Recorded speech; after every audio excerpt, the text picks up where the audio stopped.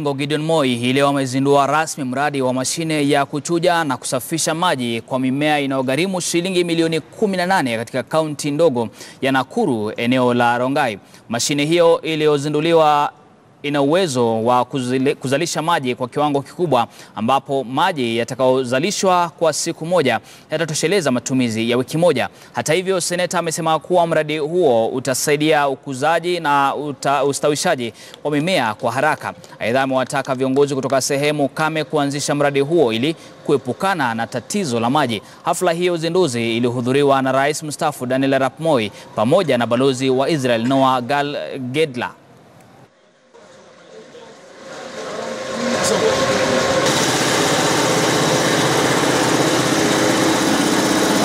So you don't have to inject up.